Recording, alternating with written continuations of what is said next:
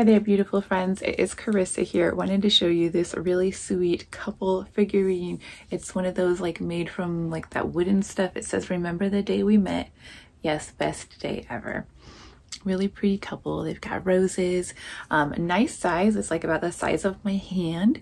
So you can put it out for your wedding, put it in your home to remember your beautiful love that you share.